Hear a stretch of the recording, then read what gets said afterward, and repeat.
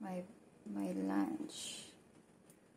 Yan, mag-isa tayo ng white onion, kamatis, sardinas, malunggay, at kamuti leaves, kamuti tops. Yan yung lunch natin ngayon.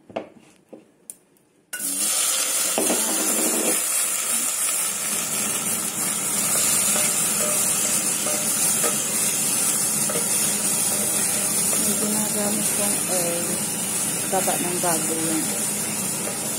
Taba ng baboy. Mas healthy daw kasi yung taba ng baboy ginagamit.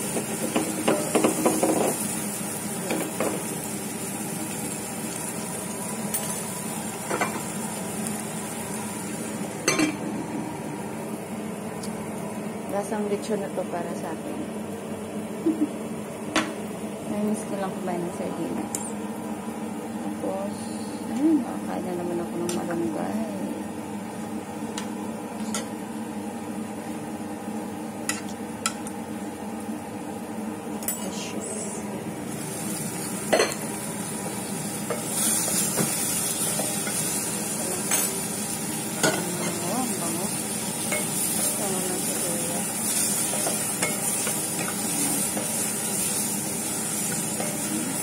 Pakulo ako ng may yun no kanina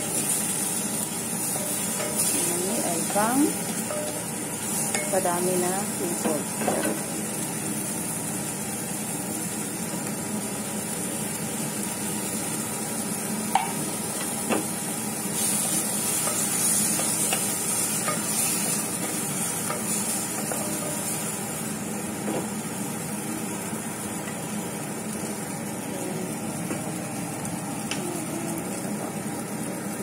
Mabilis na ako magluto. Hindi sa lang kasi gusto ko yun.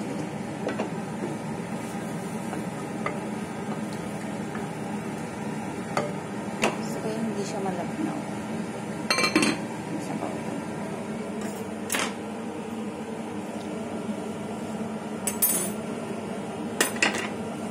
Wala kasi mga amo ko kaya naisipan ko magluto. Ah, ang dami ng gulay ko, no? Pero pag maluto ito, wala na ako gulay.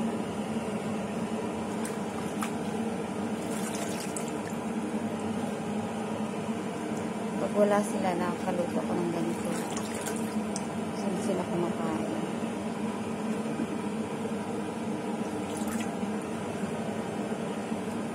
Sabi nga nila, ano yung tinatamin mo sa rooftop? Gulay yan gulay sa Pinas yan. Sila, ito sila kain ng malunggay kasi ayaw nila. Ako na lang daw ang kumain. Eh. Wow. Dati naalala ko.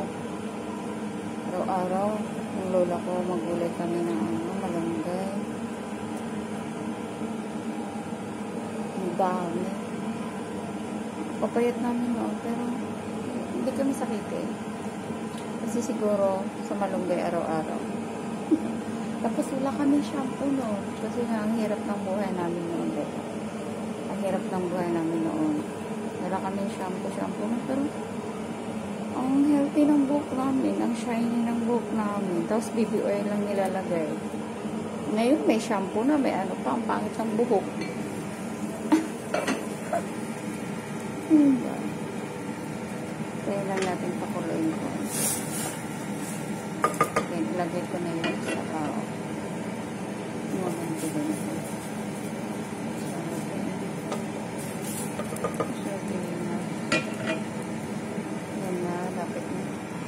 Bango ng mani. Mahilig akong magpapak ng mani. Mag ito ko na ginagawa. Hmm, mani yung nanamin ko.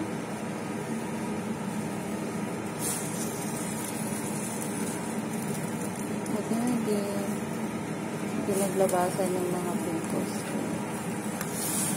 Madali lang ako magka-pimples, makuya pimples. At may kinakain ng oil, pimples.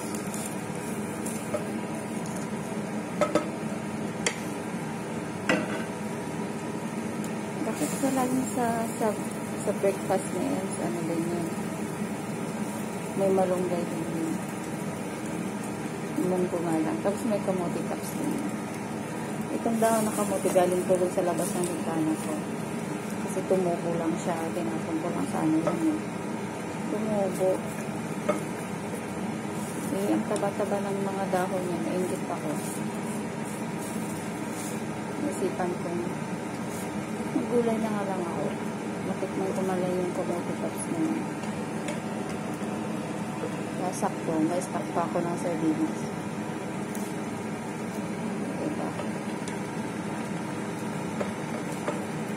Okay. Yun na, mahaba-haba na yung video ko. Thank you for watching guys. Bye-bye.